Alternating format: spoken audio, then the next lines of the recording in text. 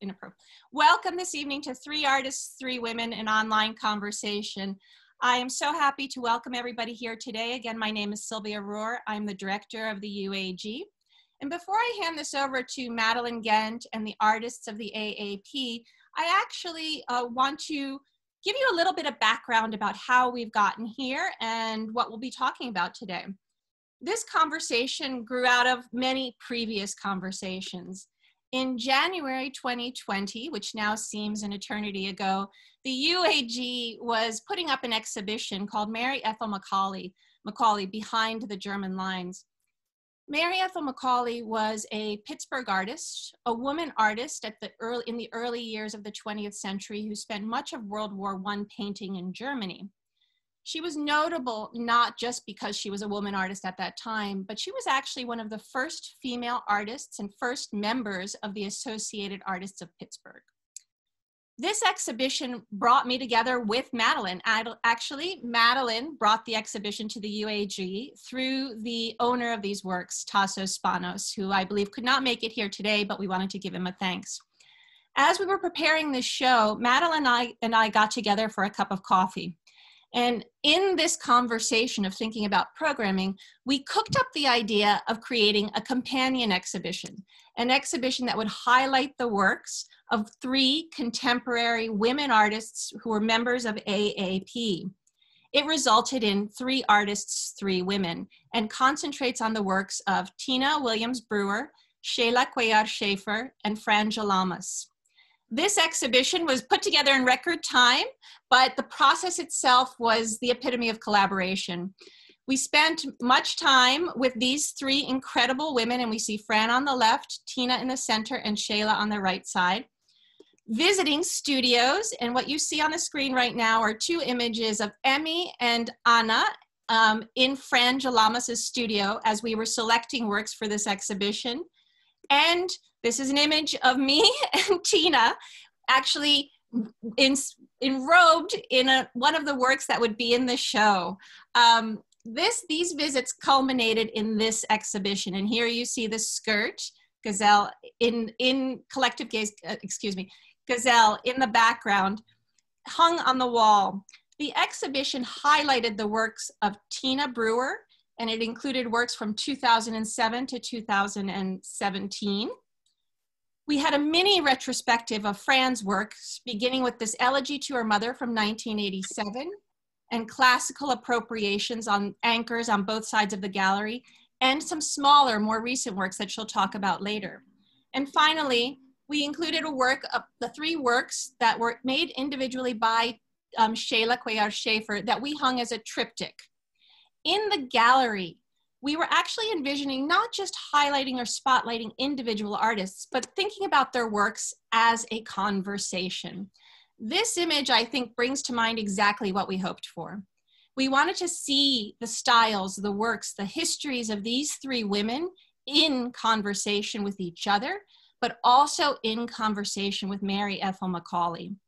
Our hopes were that by bringing these generations of women artists, these leaders of AAP together, that we would start to unwrap issues of identity, of the challenges of what it means to be a woman artist, the differing styles over time and approaches to artwork. This um, exhibition really was supposed to be a conversation on many levels, including the fact that we had planned an in-gallery conversation for March 2020. And I think I don't need to tell you it didn't happen. Um, unfortunately, like many other things in this past year, we put it off. We had to cancel it at the last minute. But I'm very happy to bring you this online conversation today. Our hopes for today are really to talk a little bit with each of these artists about works in this show and then to open it up to questions from the audience as we start to think about some of the issues or questions they raise. Before we get to the conversation, I must give my thanks to a few people. First and foremost, these three artists. It has been incredible to work with them. It's been a gift to have the conversations we've had offline, online, in person, in studios. So, my profound gratitude for them, for who they are, but of course for their work. For the entire staff of AAP, they all made this happen in record time and are making this happen today. So, special thanks to John, to Jamie, to Sydney. And also to the UAG team and the Department of the History of Art and Architecture at Pitt, which always supports the UAG. And of course, special thanks to Emmy and Anna for being part, being major people in this exhibition team. And Anna, a special note for you in terms of all of the graphic design that you created for this show, and Emmy for taking the lead in curating this show. So with that, I would like to hand it over to one more person, Madeline Gent, who I cannot thank enough for just being a person who, when you give her a cockamamie idea, idea she'll still say, let's do it. Let's see how to make it work. So after that coffee conversation, she made it work. So on that, Madeline, I'll hand it over to you. Um, I will forever be grateful to you, Sylvia, for just saying yes. Um, when when I present you with um, some very very interesting ideas. Um, thank you all for coming tonight. Really quickly from Associated Artists of Pittsburgh, we want to thank our funders and our supporters, our board members, our artist members who now represent over 571 individuals who live and work in Pittsburgh, our many volunteers, and specifically our staff, Dawn of whom is monitoring the chat today. Um, I want to thank the team at Pitt, Emmy, Anna, and Sylvia, and then these three artists when Sylvia and I sat down for coffee and, and the, the conversation started as having a conversation um, with, with three women artists in Pittsburgh, um, I immediately thought of these three. I usually, this is the only time I've stepped in and, and juried a show, in part because the timeline was so short, um, uh, but also because uh, Associated Artists of Pittsburgh is really an organization that's built on the backs of women. I say I stand on the shoulders of giants every day. Uh, Shayla has a special connection to me. they all have a special connection to me personally, which you'll you'll soon realize. She's a nat native of Colombia, which my mother is also. She's primarily a painter whose work explores questions around identity, diversity, human rights, and social justice. Her work has been in the Carnegie, the Westmoreland, the Southern Alleghenies Museum of Art, Susquehanna, and the State Museum in Pennsylvania. She's the lead artist of the, of the Billboard Art Project, and she's on the boards of the Westmoreland Diversity Coalition and currently serves on the board of the Associated Arts of Pittsburgh. Um, she's done double Zoom duty yesterday and today. She was sat in a board meeting last night.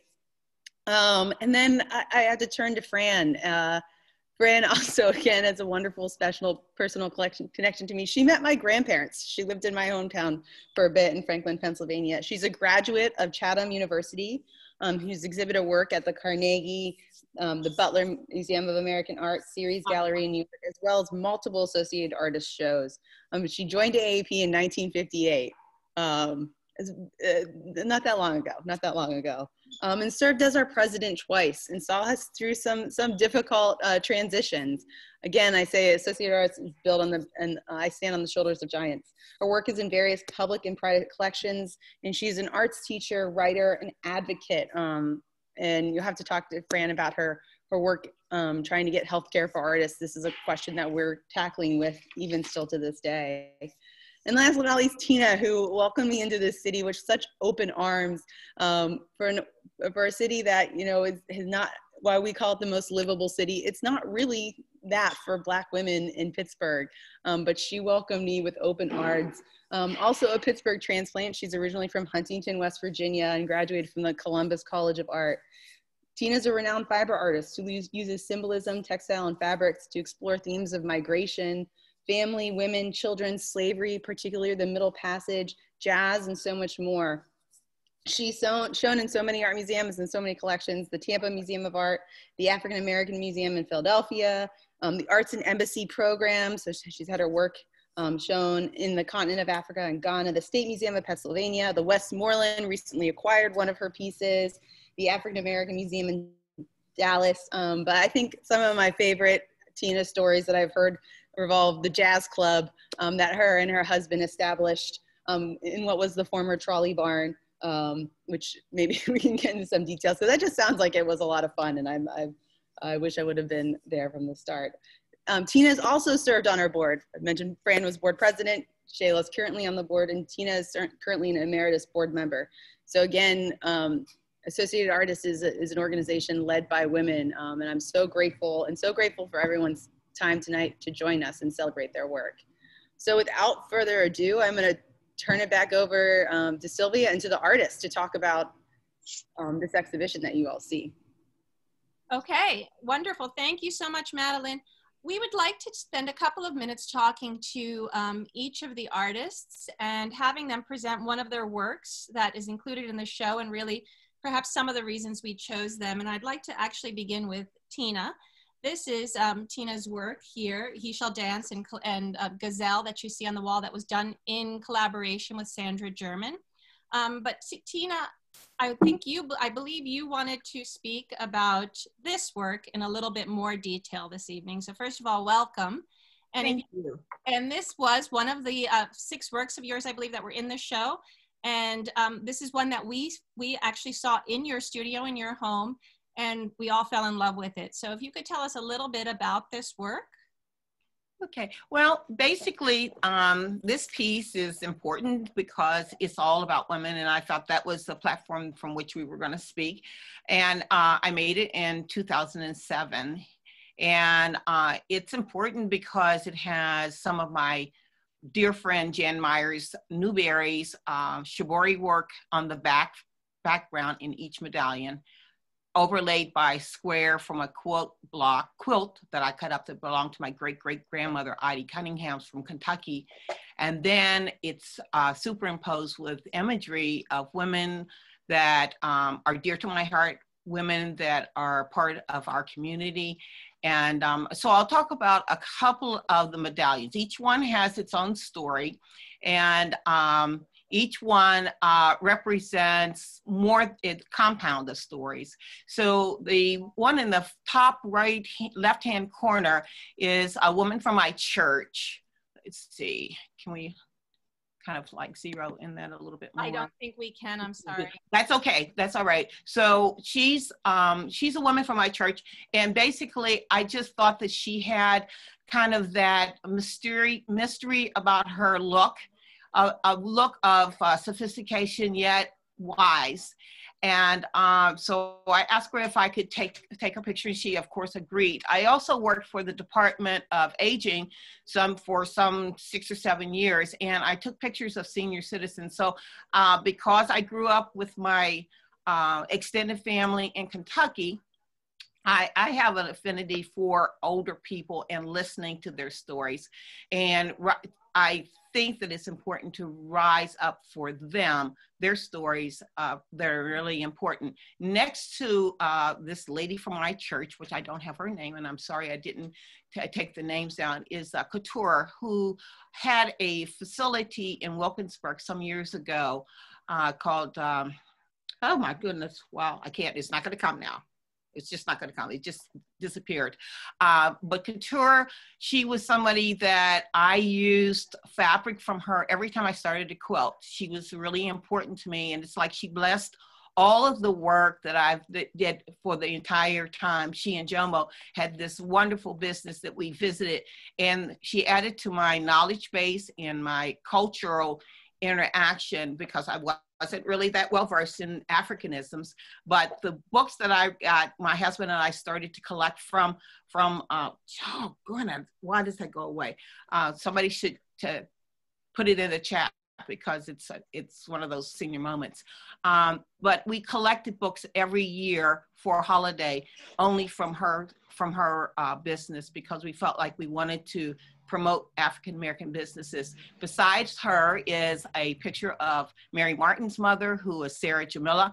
So she is a sage of the community as well, and another lady named uh, Sylvia. So just capturing all of these different women and layering them into one medallion was i thought it was a great idea but then i moved on to capturing some of the things that were important to you know what helps support women. So the, the, it's the church. So my grandmother's had a famous saying, which is first God, first, then family, and then community. So that's what you see in, in the other layers of the medallions. Um, on the far right is Katie Everett, uh, uh, and um, K. Leroy Irvis, K. Leroy Irvis, his wife, and she is a beautiful, beautiful woman. And um, I asked her if I could take her picture, and she said yes. So, what you then begin to see in each medallion is also a circular bubble. And the bubbles are representational of a different vision. So the work is called um, Veiled Perspectives and if perspective. And that is because we think that we know who people are and we assume by just the outward look that we can read what they are. And oftentimes, African American women have to shelter their emotions and stand straight and tall and and kind of what they say, just suck it up. And so in this, I, I have this uh, picture that is a, of a one window in, um, what is in, I think is in, in Highland Park, and it's on the third floor. And I took three different versions of the same, same item. So it just talks about what you see it depends on your perspective. And so as you turn and you look, everybody sees something different. And so I, I so I, I, guess it's a rise up for um, giving everybody the opportunity to be able to say that they have a different vision than the one that you see and being able to embrace that. And, um, and I use that with my, my students all the time because different visions brings creative ability. And, you know, I'm always about that. And then my in the center is my great grandmother, my great grandmother from Kentucky, and Cuesta Benberry, who is um, a historian for all the, for our quilters, and she wrote so many books. So I wanted to honor her. And um, last, I'm, I guess I should kind of go way down a little bit, which is on the far in left corner is my picture of my mother. And I really uh, wanted to speak on behalf of her today because as we all are, we are our mothers. And she fought very hard for children and children with disabilities. And she worked in the Head Start program in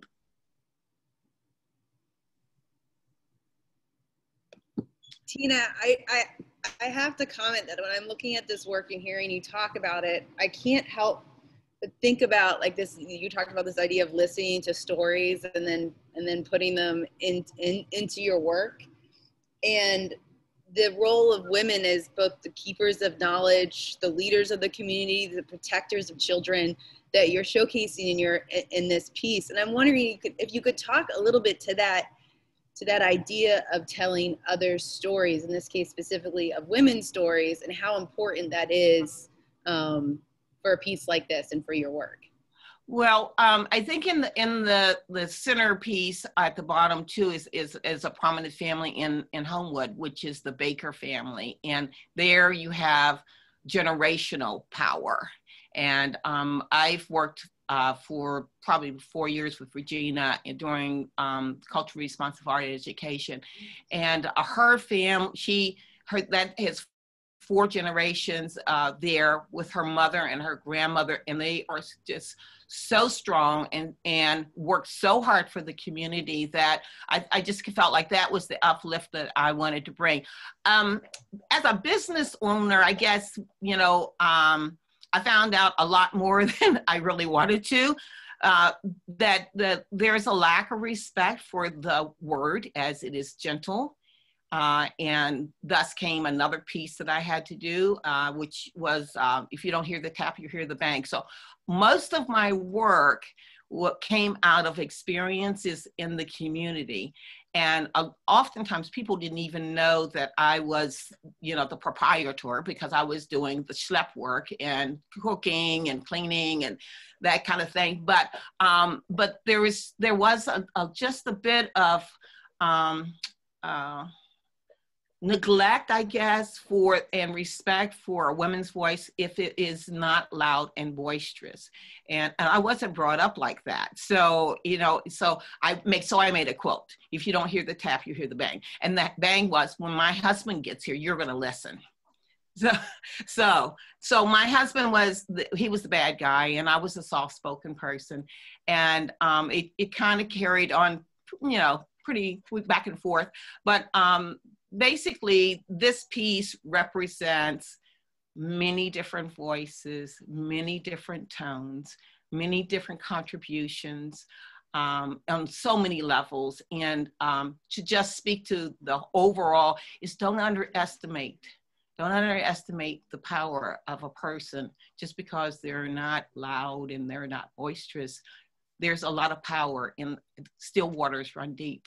Let's leave it there.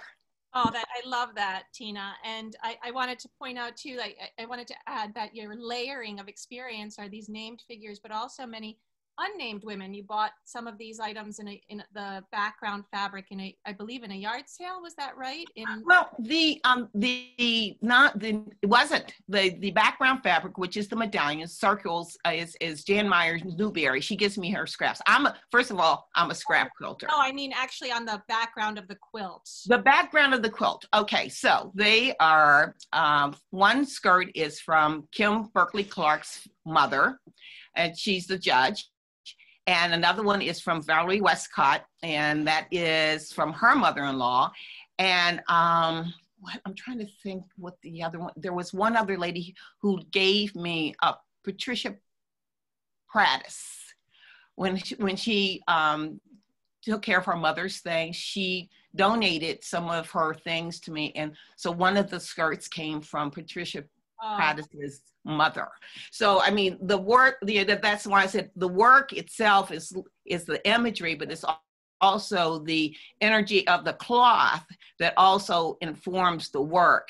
And so when people see the work, sometimes they don't understand why the emotional attachment is there. But when you connect with the cloth physically with your hands, that energy then becomes part of what people take in when they are part when they're interacting with the quilts. And the quilts are all supposed to be viewed more than one time and you keep coming back and keep noticing.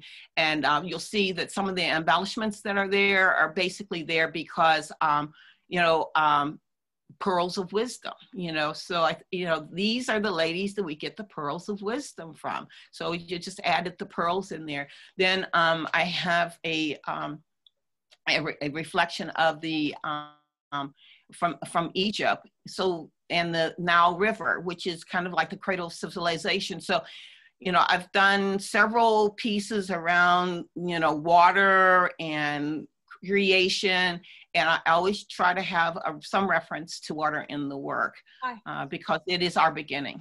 I love that. Thank you, Tina. And I actually brought a detail. I feel sad that we can't actually be in the gallery together. This is not from this piece, it's another piece, but I wanted to be able to give people a sense of your layering. This is, um, and, and your work. So I wanted to talk a little bit more about that perhaps in the Q&A. Okay. Right now, I would like to kind of take this idea of stories, history, women's stories, and move our conversation to Fran. And Fran, um, Fran's works, as I mentioned at the beginning, were a bit of a retrospective in this show where we were spanning a huge range of time from works that were from the early 1990s. This is classical appropriations. Um, and this is a detail of that work that she was working in to an earlier work, which was more abstract, an elegy to her mother. And Fran, I believe, and this is a detail of that work, that um, today you wanted to talk a little bit more about this series of new works, these small scale format mixed media images that um, kind of tell the stories of people in the Rust Belt, but particularly women in the Rust Belt. And Fran, you wanted to focus mostly on this work, I believe. I yes. Um, I, I grew up in Youngstown, Ohio, and there were two major influences from Youngstown one was that it was a heavy steel industry. I grew up thinking that the sky was orange because it was most of the time um, that I was there.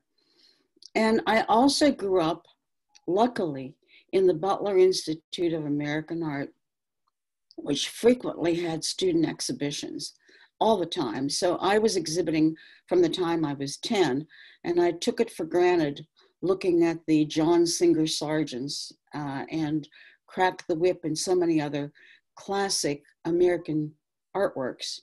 It was wonderful for me.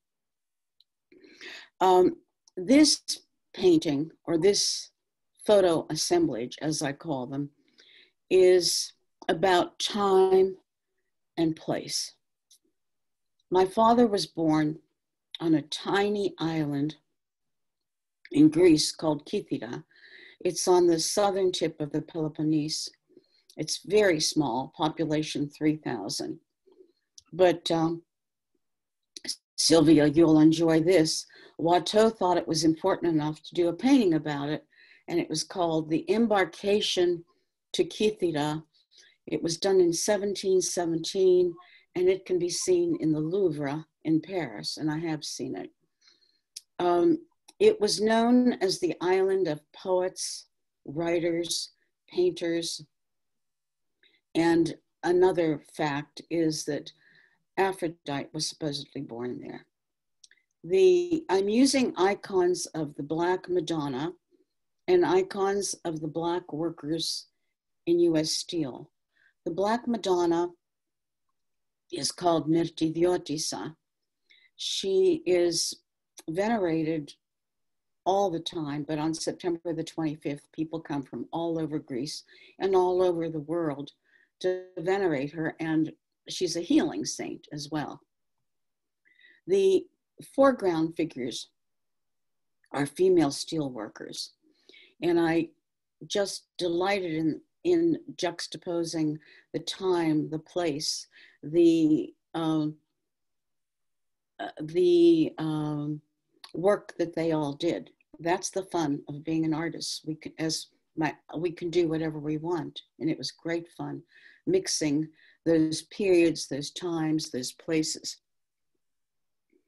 Um, a lot of my more current work is deals with um, women steelworkers and women and the identity of women.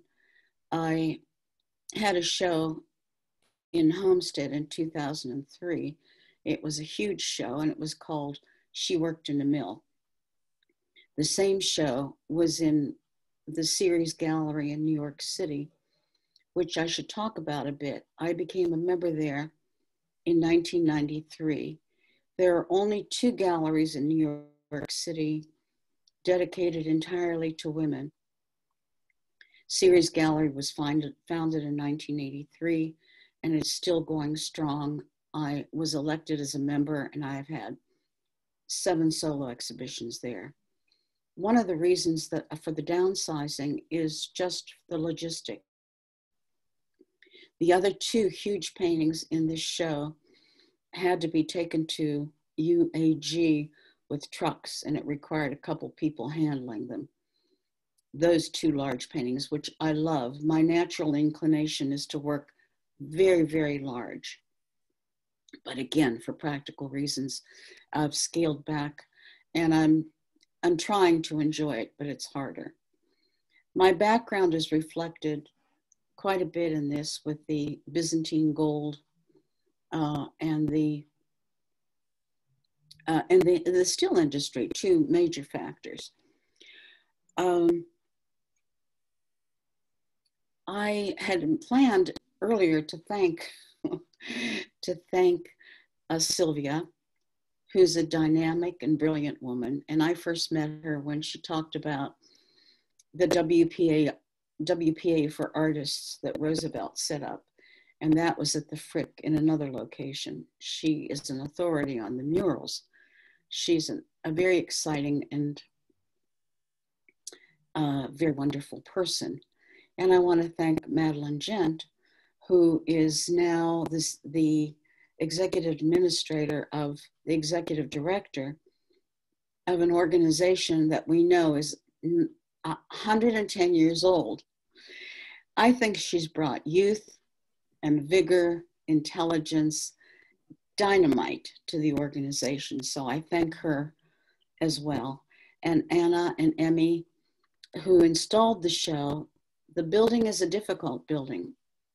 It has soaring ceilings and um, rotundas. And I'm just sorry that it isn't open for people to see the work in its actuality because it really is something. They've, uh, they've done a wonderful job. Any questions about all of this? Fran, I want to ask you one question real quick. How did yeah. you feel about the juxtaposition of kind of, you said a mini retrospective that you have kind of three very style, various styles.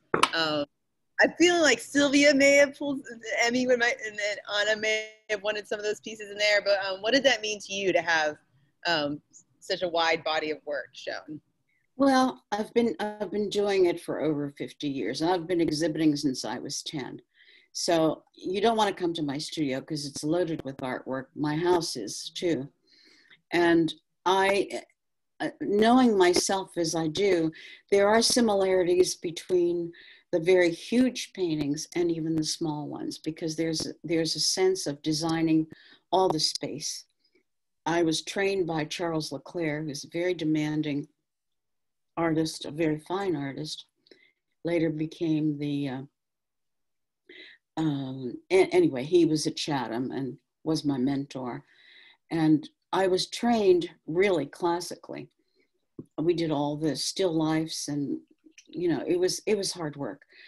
Um, they trans they transition the large pieces actually transition to the smaller but i miss the air and the breathing space in the smaller pieces. And, and i chose i chose a square format because there's an illusion of more space with a square than than any other shape. So they're all they're all squares when i work smaller and, and we can talk about this a little further, but I wanted to just add that I think the experience in Fran's studio was so exciting for us. And I think for you too, Fran, in terms of there were works that Fran hadn't looked at in years and that we were pulling out and having the discussion of how one era moved into another and, and the continuities between those. So we were really hoping to get that kind of um, the continuities between larger pieces and the smaller pieces, but also to see that change and some of the the repeated themes you had had, Fran, too, in terms of your roots, but also your family, which we saw in Tina's works too. And it's something that came up in Sheila's works as we were actually thinking about a newer gener another generation of artists who are coming to Pittsburgh. We realize none of us is from Pittsburgh, so we're all actually um, looking at this city anew. I would love to come back to some of these questions, Fran. I just wanted to move on to Sheila just to give her a moment to talk about her work, and then we'll continue that conversation. Um, Sheila's three works that came to us were all from 2020 and actually i believe from early 2020 so um, they were very new and these were the first place they were shown and sheila is originally from palmira colombia but i think she's been in the us since 1999 i might be wrong about that year but i think that's what i have in my mind and Sheila, um, we talked a little bit about how these work individual works, but then how we put them together as sort of a triptych. And I was wondering if you could tell us a little bit about what you think about these works and your process. Uh, sure, Sylvia, thank you. And uh, Tina and Fran, your work is so profound and inspiring for me. It's just an honor to have my work with yours. Um, well, my work, as um, was saying, I work um, around the themes of uh, diversity, um, inclusion, human rights, and uh, of course, migration. I am an immigrant, and that's just a subject that comes to me. So when um, I found out about the opportunity of uh, exhibiting here, I thought that um, it, it was a good moment for me just to touch just in um, immigration since my work was like had a lot of political commentary but it, it was mostly based on um, what i see is um, as i call it like like sugar coated ideas presented to people when there's like an order laying of reality. Um, this um, uh, this subject, I guess, is I'm thinking is because uh, being an immigrant and being a, a, woman that grew up with like very strong female figures um, in my family, I just gravitate about like to painting about women and growing and growing up also as a Catholic person, like going to a Catholic school, had um, all this idea of this iconic images from like going to church like stuck to me. So it was just something natural to me to move into uh, this type of work. Um, the idea here was um, it's about talking about immigration, but also to highlight what's happening with the women and the families that are the, separated in the border. And uh, I think it's important to kind of feel like a liberation for them about the stereotypes and lift them up for what they are.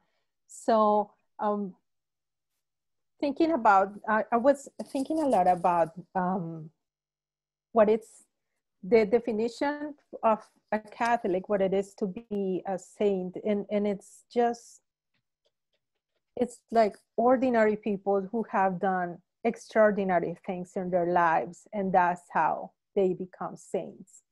And to me, um, these women that they risk their lives to cross the border to just give to have the idea of you know give a better lives to their kids and their families that is something extraordinary and i wanted to represent that with this um, ornate outfits for them um, I don't. Um, I wanted to talk also about the um, the Ángeles arcabuceros. The ángeles arcabuceros are like a, a, representation of angels that have like kind of like a rifle holding. And it was something that the La Escuela de Cusco and uh, during the during the virreinato that they um, this uh, when the people from Europe came here um, came to Latin America, they use these images to kind of create like a cult and uh, they use religion to convince the natives to um, where they were offering. So they became Catholic and then that's how they started um, uh, painting these angels and they became like something so important that they, they became actually popular at that time. So I found like that contradiction interesting in using those um, ornate outfits and um, to highlight these women. And um, I want I have um, a little, I, an example here. Let me see if I can show this to you. This is something I own that um, it's one of those angels. It's not the angel arcabucero, but it's the other example of that school. They have the one that has the wheat in their hands. And this is, I, I believe it's, it, this should be a print that has been like highlighted, like with highlighted details. Can people see it? Can you see it? Yeah. Yes. Okay. Okay. So that idea of using um, those pieces of clothing like that to kind of like give some liberation to these women was um, the whole idea behind these paintings. And uh, like if but if you see like they are they can look also modern because I try like the like if you see the one on the left the the women like with the cape she's also wearing like a jumpsuit so it's kind of like it's the entire idea of the women being liberated from this and um Sheila, can I ask you a quick question?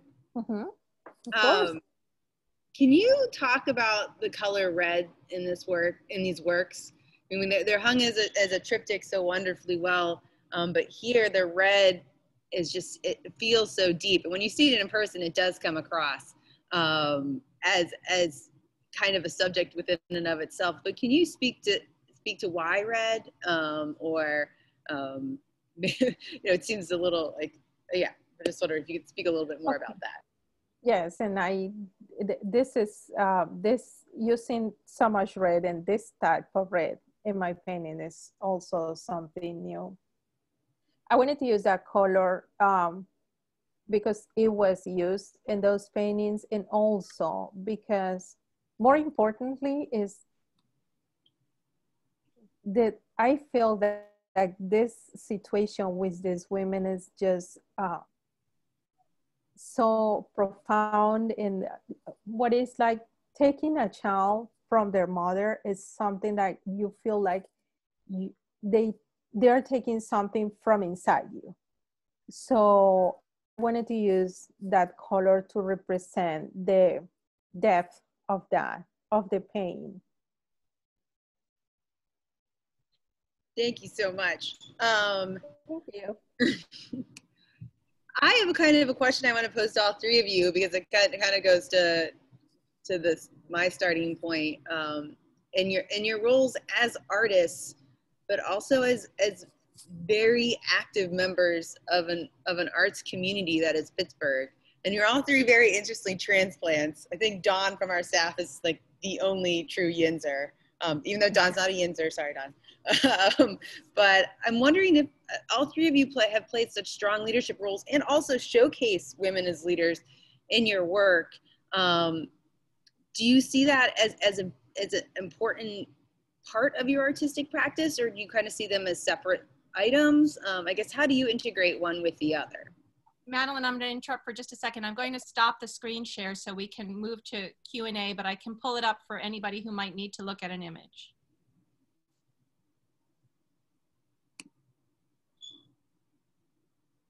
Sorry, I interrupted your question, Madeline. You're going to have to ask it again.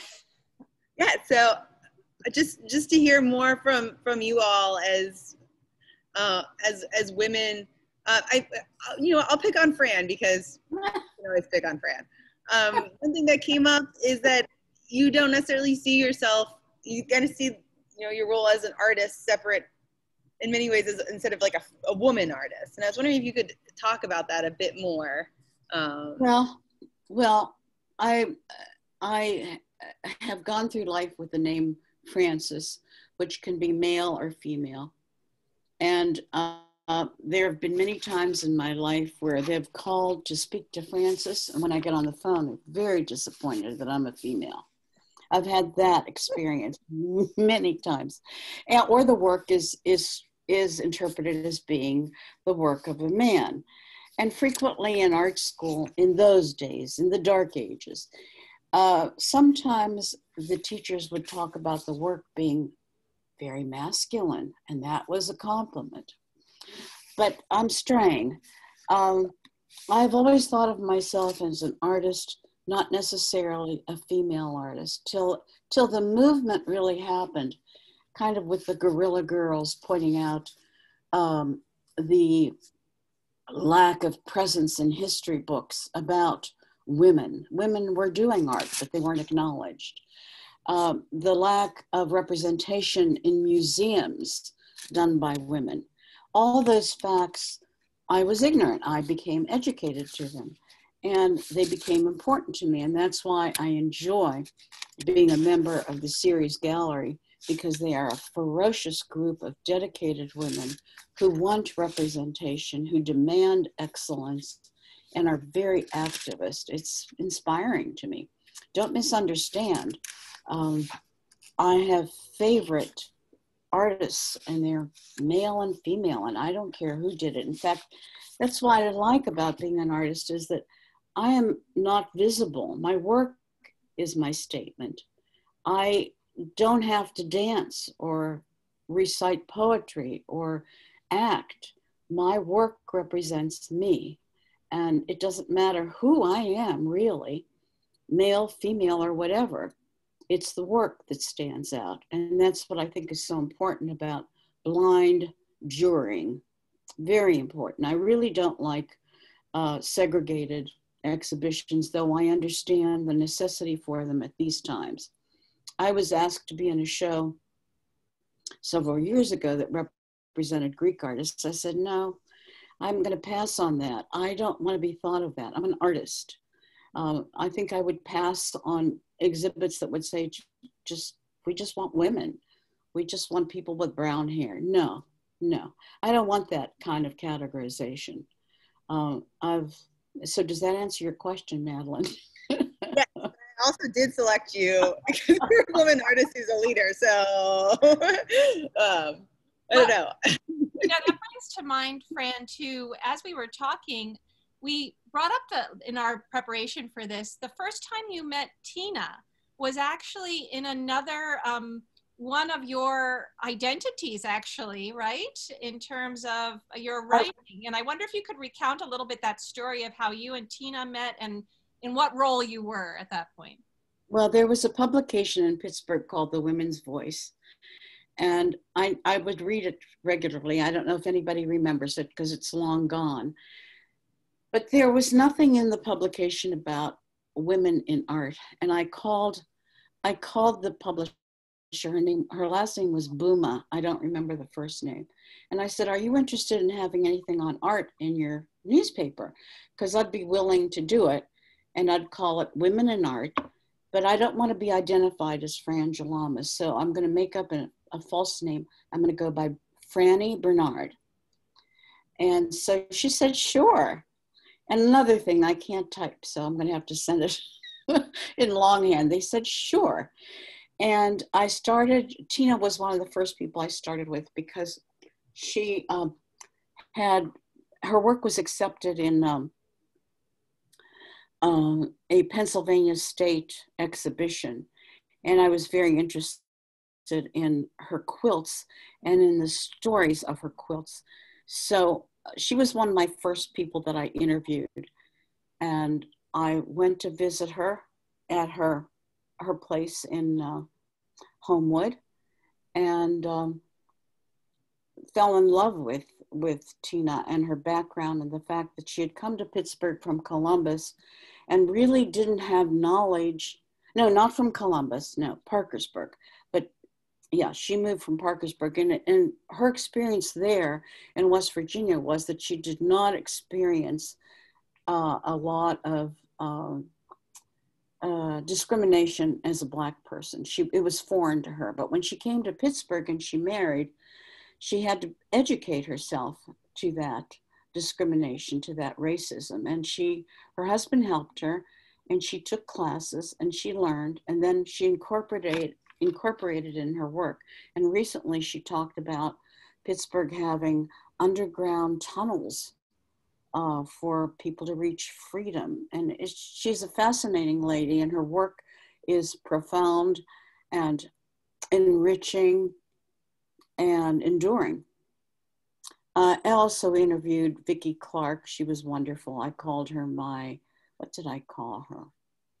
Uh, Vicki, who's is closely tied to Pitt and wonderfully tied to Pitt. Yeah, yeah. I called her an art evangelist. Oh. An art evangelist. That's what she is. She's an art evangelist. I took several courses from her at the museum, and she talked about contemporary art. She's up to the minute on everything, and she's she is really absolutely brilliant. I interviewed Irene Pasinski, who is one of the country's first industrial designers, female industrial designers. Uh, her we're, hoping, we're her, hoping to get Fran. We're hoping to get this archive out there so that we can all read all the, the lists of the interviews for sure because it seems like it seems like a treasure trove. And I remember um, Tina Tina, you were saying too that in the process of this meeting, you you met Sheila for the first time. Like the three of you, some of you knew each other before, but but actually in this process, Sheila was kind of new to this this scene, and you were very taken with her work. What was it about that work appealed to you so much about her work? You know what? Her work it was emotional and i think that's what i was drawn to and basically i think we were neighbors for uh, a show down in um, the cultural district uh, 709 and yeah. wasn't that sheila? Was that the show? Yes we next door i remember i went to see the gallery when your your show was up and that's how uh, that's how we met. Yes my, and, it was right next to yours Right. But we kept running into each other and she kept reminding me what her name was and I'm, I'm really horrible with names and but I always remembered her and but I know you. I know I, you. I know I know you because I I loved your work and I loved the, the your realism and your technique and so um you know there was there was a wonderful connection and when she came over we visited. So we we are very connected now and i thought that it was important because of uh, what fran had done for me which was you know kind of dragged me out of obscurity. I was working and i was showing but i wasn't really um, organized and I and I thought that that organization that that time that she took to really show me the ropes and and she shook her finger at me and told me what I needed to do to go forward and I tried my best but I didn't stay organized.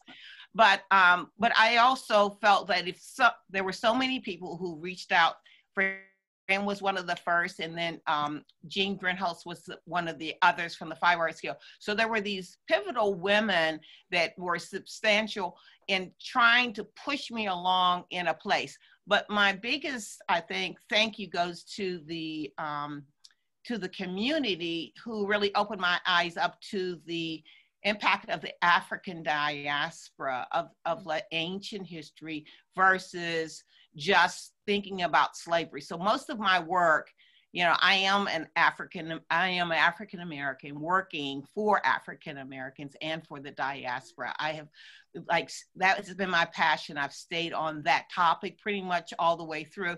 And I think before I found that, I didn't um, I didn't know what it was to make meaningful art because I was a commercial artist. So, you know, so giving the layer of culture and how important it is to bring you into your identity. Um, and, so as I found out about certain things that I thought were important, I made a quilt about them. So that's why I have 85 quilts, you know, and abouts, because they were all stories that I felt were important to tell.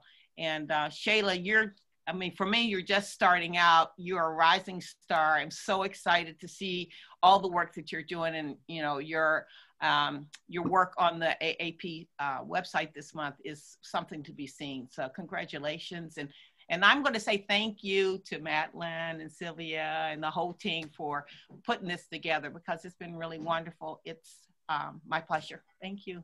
Oh, it's our pleasure. I, I, I would like to add, can I add something? We're gonna have, I, I would like to add that we're gonna have a conversation next month with um, Tina about the Billboard Art Project. And uh, so, yes. And uh, um, it, I'm just so happy to work with her. And I think uh, Susan Islavik is also here. She, Two artists that I admire very much. Sheila, yes thank you for saying that because I think that's a really important point too. The work is still going on, and there's a lot of things, and this conversation is clearly just beginning. I feel like if um, I know some people may have some questions, even though we're running down on time. So please drop that in chat if you have right now. But I do want to take a moment to thank these three artists and we ho- and the entire everybody for being here. I would like to also bring up one other element that we that actually Tina reminded me of, and as she was speaking of her mother. And um, you may have noticed in some of the photos, the artists were beyond behind beneath a, a sign that said "Di su nombre," say her name.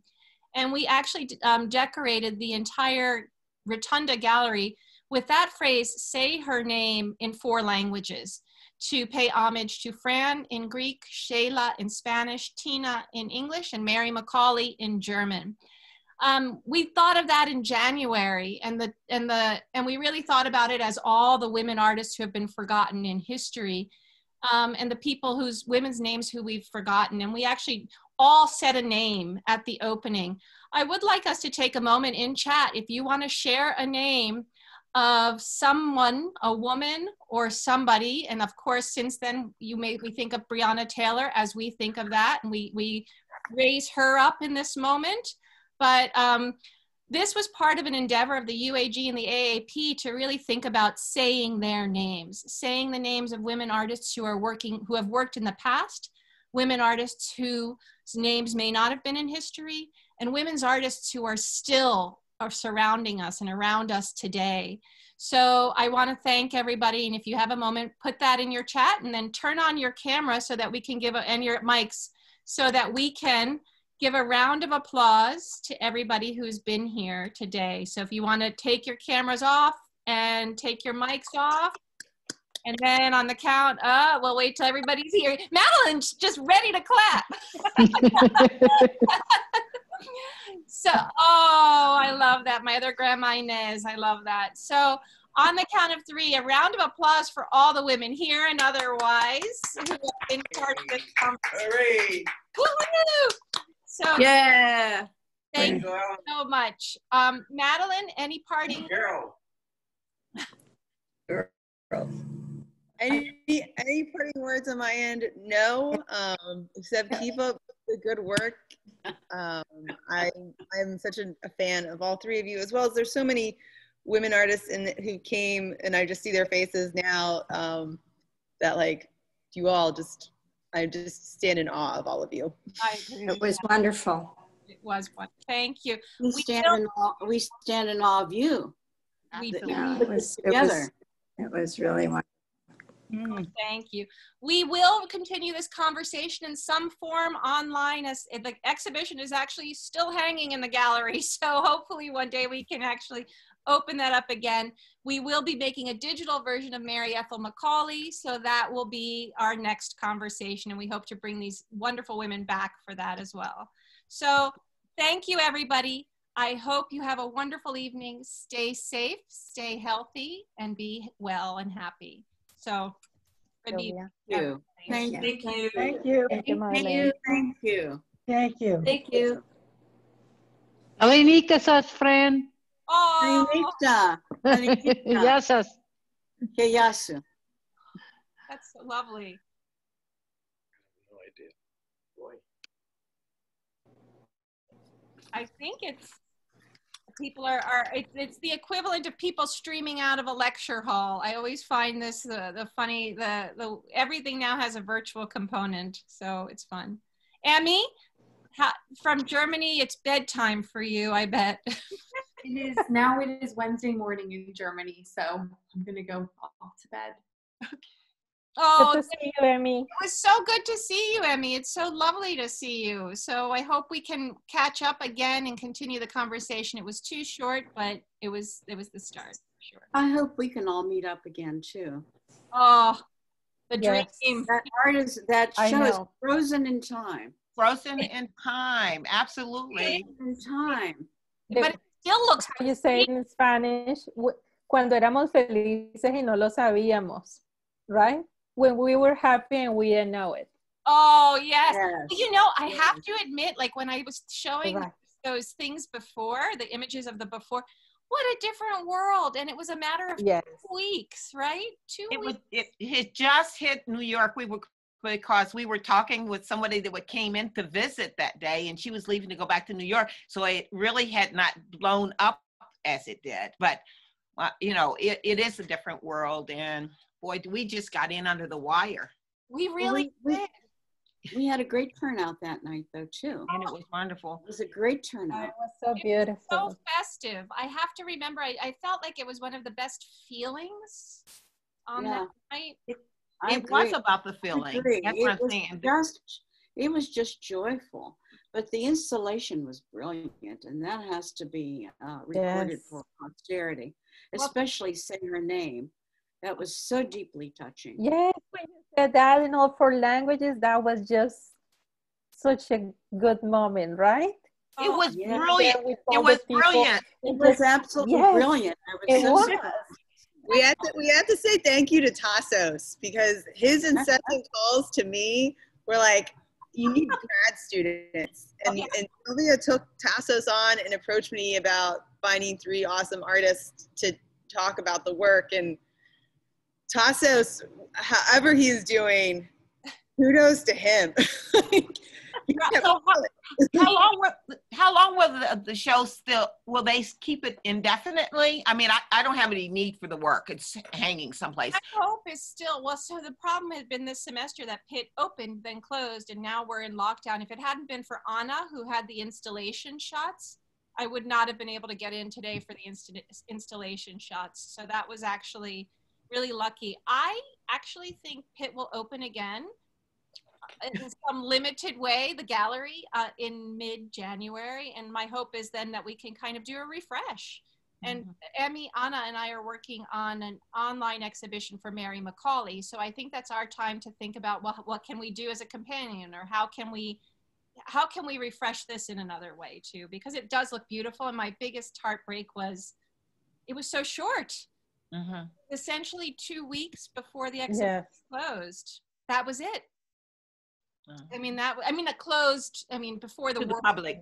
Before COVID. right Yeah. before the world closed down. We didn't close Yeah. it. So like um but that was that was definitely it, it it definitely felt like it didn't get the show it needed. Right. But I'm so happy that we have this conversation today. I was really I'm so glad, Madeline, that you know, again, Thank you, Madeline. Yay! Thank you, Madeline. We big Truly. cheers to those two for and Anna redid the poster and we ended up getting it all done. So um we work well as a team. I just think we should open our own little I do too. Well, you I've been- have. You have a fan club already. it's I've a been mutual in many, many. I've been in many exhibitions as the rest of you have, but maybe this is my favorite Oh. because it was painless. This has been my favorite fun. too. It was painless. It was fun working with you all, We- and it was highly professional at the same time. We It was didn't. just a dream. It Oh was a dream experience. Yeah. you're so you're Yeah. so kind. It's a mutual love society. No, I'm not kind. It's it's just factual. I'm no kind. it, you made it you made it easy we had so much fun in the pro i mean it was i mean emmy and anna can talk to this but how much did we love going to the studios and like thinking this through and emmy the best image i have is emmy working on the weekend with the layout like of With- thinking like of like you very like i have my images of people in the gallery but of you seated in the gallery kind of really thinking of layout and like kind of mapping it out emmy that's still in my office like still hanging there as like You guys being so And hanging in your brain too, obviously. Yeah. that's a good thing it's just nice to think about dialogue even when you're curating the dialogue between the two piece the th- pieces and the people and it's lovely But it was all Nina, I don't know if you know this, but Sheila like had one piece sort of complete of the three. yeah I did a studio Heard that. Sylvia and Rub it in you're gonna kill me. I was like, I was like, Sheila's got this. In the back of my head, I was like, I don't know how she's gonna do this. You did it, Sheila. You knocked it out. I love those three pieces. Uh, they're She- so beautiful. There oh, are. Well, Where- Sheila reminds me of when I was young and I could do that. Just knock them out and put a put a fan on them to dry. wow That- now you reminded me of one time I did that, and the the paint was way too liquid, and the result was well, oh. It it was. Oh, oh, lord i didn't even notice you know, the work the work was disparate, but it worked all together. It was i thought it very oh, Yes. disparate. it was very Yeah.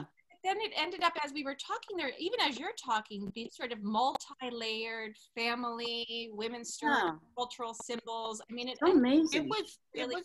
interesting It had a, a thread. Yeah It, it had a thread. Yeah. and and, I, and and it felt like the thread that that uh, Sylvia spoke of is that we're all from someplace else, and we're seeing this place from from our roots and bringing a vision to it. So you know, I just I thought that that was really interesting that we were all from a different place, and we brought this family community uplift.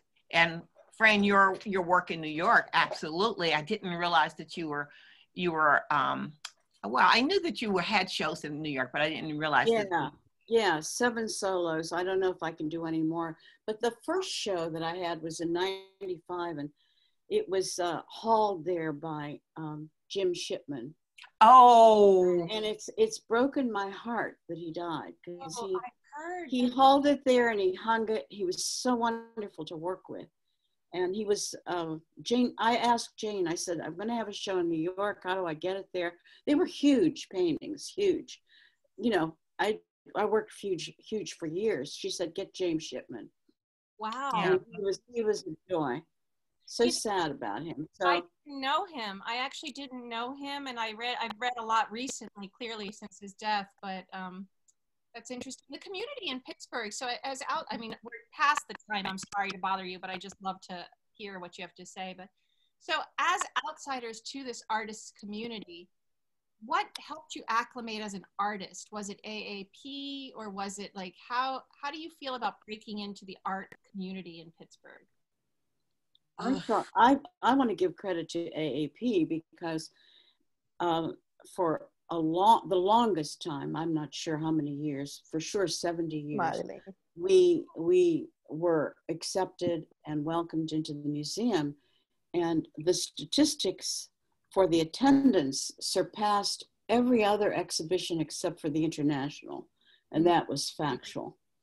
Now we've we've had less uh, coverage there but that to me exhibiting in, a, in, an, um, in our museum was a monumental honor but I also had been exhibiting at the Butler Institute of American Art, and I had to leave Youngstown to realize how uh, what a quality place that is and how widely recognized it is as a fine depository of American art.